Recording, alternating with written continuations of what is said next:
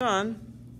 Product rule says that uh, all we need to do is we add the exponents together. Okay, so um, if that was A was 1 and B was 2, then it would be x to the third. A plus B, 1 plus 2 is 3. Okay? Um, if we have to simplify, then that's when we would do that, okay? Um, so over here, I got h to the 2 and h to the 6. What is my answer going to be? H to the 8, okay? And I'm going to write it the long way, but it's going to be h to the 2 plus 6, which is h to the 8. Okay, on the other one, you multiply the big numbers together. So negative 2 times 7, Negative fourteen. negative 14. And then we're going to go through and add all the exponents. So I got an a to the 2 and an a to the 3. It's going to give me a to the 5. And I have a b to the what power? A 1. Okay, so you can put a 1 here and a 1 here. So a 1 and a 1 is going to be b to the 2. 1 plus 1. Okay? That is the multiplication rule. Now, um, it seems really easy. Um, on some of these, you're going to go through, multiply everything, and then you would simplify, okay? So don't work too far ahead because um, it's built into what we were doing yesterday.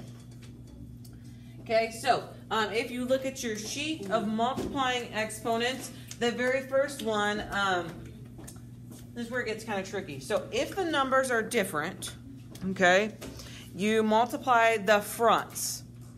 If the numbers are the same, then you keep them the same. So um, we got, is the big numbers the same, the coefficients? Yes. Yeah, so we know it's going to be a 4. Uh-oh.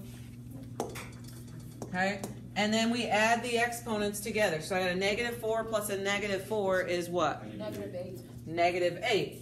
Do we leave negative exponents? No. No, and so this is where you need to simplify. So, um, my actual answer, where do negative exponents go?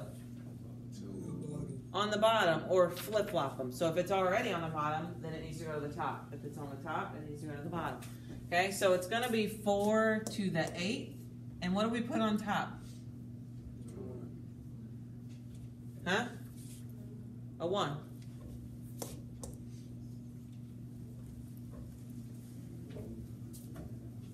Okay, so if we look at 2, are the big number, the coefficients the same? Yes.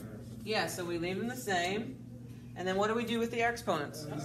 Add them. 2 plus 3 Five. is going to be 5. Two to the five. Okay, do we have any negative exponents? No.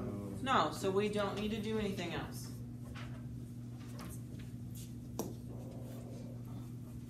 Okay, if we look at um,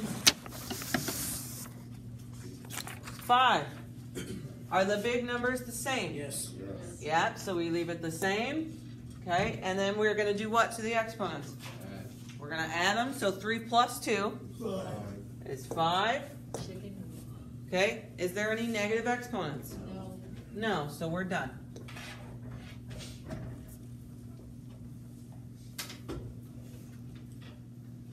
Okay, look at 7. What is the coefficient? Ten.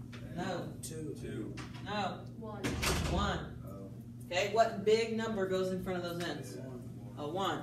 Okay, so we would keep the coefficient the same, which is 1. Then we have an n, and we add the exponents, which is going to be what? Five. Do we have any negative exponents? No. No. No, so we're done. 9. What are the two coefficients? One and One, two. two. A 1 and a 2. Are they the same coefficient? No. No, so what do you need to do? Them. We got to multiply them together. Okay, so 1 times 2. Two. Okay, and then we do what to the exponents? Add. We add them, so 2 plus 2. Four. Do we have any negative exponents? No. No, so we're done.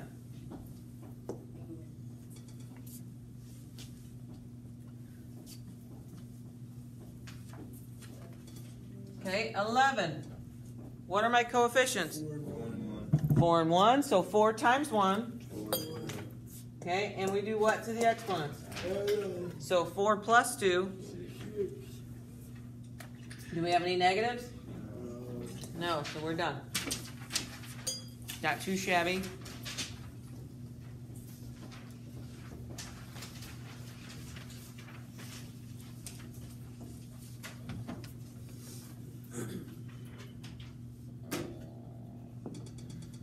Okay, look at 13. What are the coefficients? Four.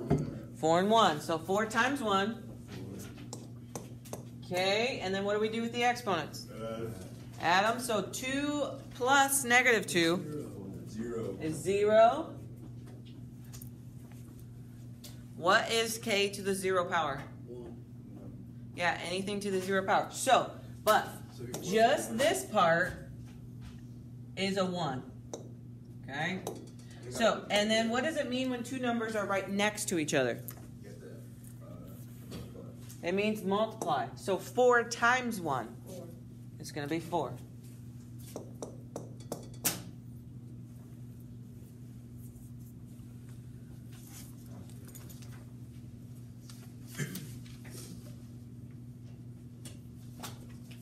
Okay, 15. What are my coefficients?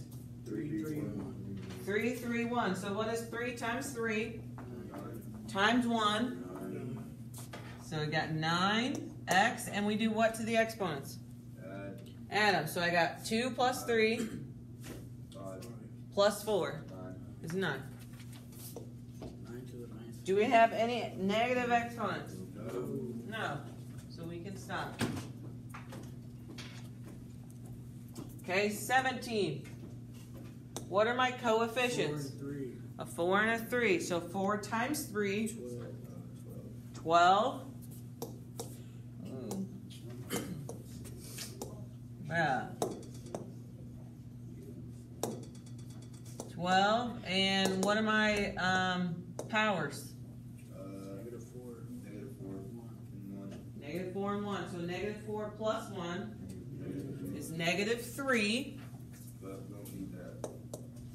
So, Okay? So what do we do with negative exponents? Put it on the bottom. We gotta move them around. Okay? And so this is really gonna be where does the 12 go? Bottom, top, top. The top. The big number always is gonna stay where it's at. So it's gonna stay on the top. What about the n to the negative 3? it's gonna be n to the one. N to three. It's n to the, gonna be like n to the one. N to. Where do you get an n to the 1, baby? I don't know. It's a negative, so you gotta change it. You do gotta change it, but it's just gonna be n to the 3 on the bottom.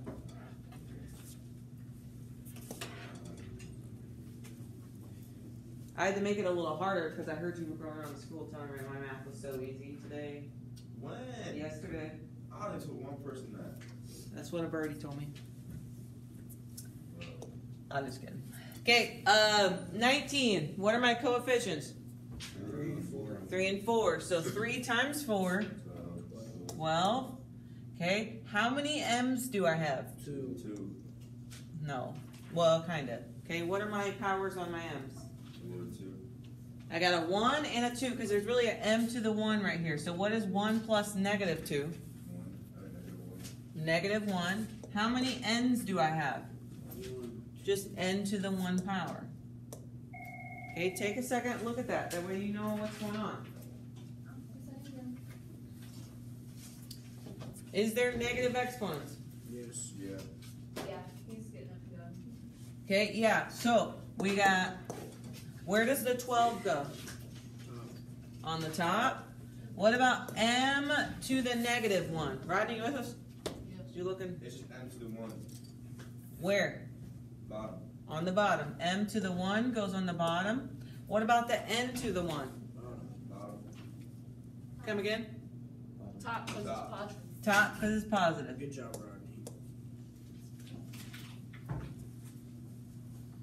People said Rodney was slow, and I was like, I just, I'm impressed. That's what I'm getting at. I'm slow. I just, I don't know. You were. Don't shoot the messenger.